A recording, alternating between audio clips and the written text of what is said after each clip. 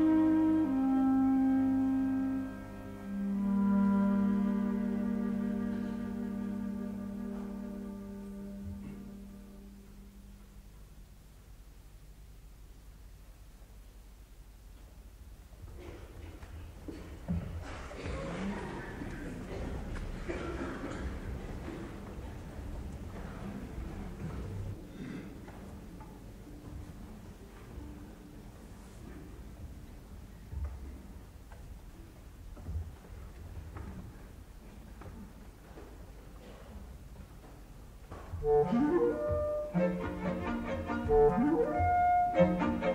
you.